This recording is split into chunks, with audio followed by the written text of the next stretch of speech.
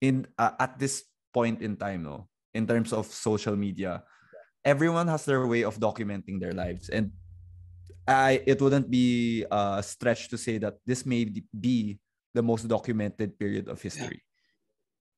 So you know, you take in the pictures, mm-hmm. the memes, the videos, etc. No, but at the same time, there are certain very unique problems that it introduces.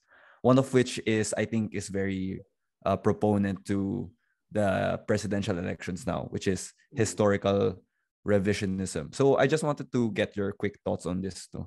One is to to give the to give the monster a real name. It's not revisionism, it's distortion. Because mm-hmm. when you revise, you revise to correct. You revise using truth. But when you wow. Mm. when you go against truth, you distort, diba? So I mean that's the problem with the Philippines. We we keep using terms that are that are counter counter to what they actually are. So how can you revise when you are making something wrong, diba? Mm. So uh, we're we're very very careless with with terms. I mean things like social distancing it's not social distancing, it's physical distancing, di ba? Social mm-hmm. distancing is far worse than than physical distancing. So, but anyway, um, and that's one of the things that history teaches you. It gives you a built-in shit meter, di ba? So you know when you're, you know bullshit when you see it. and uh, the, the the sad part is that this generation, while we have, and it shows you also human nature, di ba? the internet was created to open doors. Yung pala, it closes doors. Uh, Facebook, for example, and social media was made to connect, but now it is used to divide. Um, I'd like to think that uh, what happens kasi now is we're all run by algorithms. No, um, one of my exercises in class was usually to open open your laptops and your cell phones, and I want you to Google something simple like spoon. You know? Uh, so they'll Google spoon. And then you look at your results and you compare it with the person to your left and the person to your right. And you will see that the search results are not the same because an algorithm has already decided what you want to hear.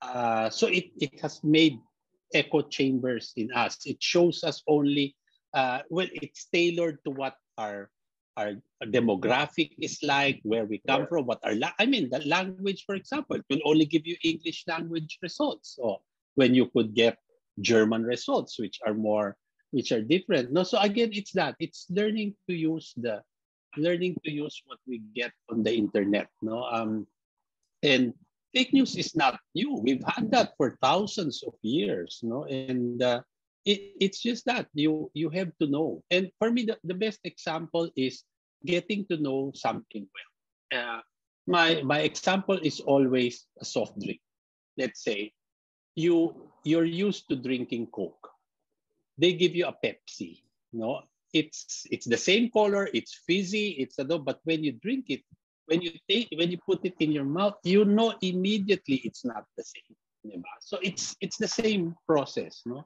so uh, the internet is is can be both good and bad depending on on how you use it. So again, it's that we're reading a lot today, but what are we reading and what kind of things do we read? No, um, we already have short attention spans, and then you, I mean, will you get your news from Twitter? What will you get with 114 characters? It doesn't tell you much. So it's it's a different generation. They don't read newspapers anymore. And you would think, for example, like I spend time reading the New York Times, but most people will get their news or their current events from their social media feed.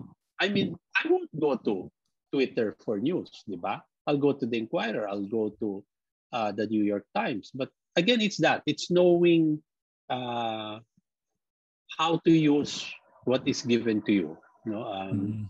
and being critical about, about what you read. I mean, it's also that, no, like I noticed this, and I think it's it's a generational thing. I don't know if it's true with you.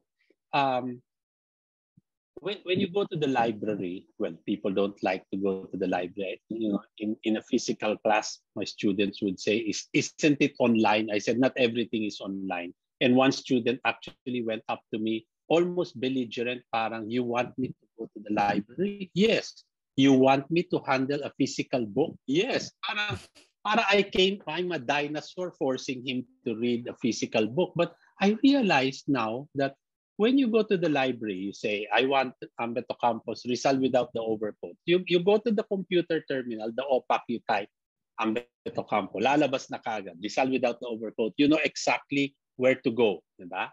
But in my generation, because we didn't have OPAC, we had to use what was called card catalog. So it's these wooden boxes with little little cardboard um, things with titles. So you mm-hmm. could look by author, you could look by subject, you could look by title. So in order to find a book, you have to scroll through these little cards. And by doing that, you actually look at other things before you got to the book that you wanted. And sometimes serendipity, something you're not looking for, ay, meron pala nito, which was more important. But now because you click in something and it gives you the answer right away, wala na. No? So when people Google, they will usually get the topmost thing in the results, not knowing that, let's say, some companies, they actually pay Google to put their search result at the very mm. top. Yeah. But my training is when I do Google, I will go page by page until Google cannot give me anything uh, anymore. And I get what I think is the most valid uh, source. But if you're trained to just get the one in the top, ay nako, wala na mangyayari sa'yo. So it's that, it's that kind of uh, that kind of, of training.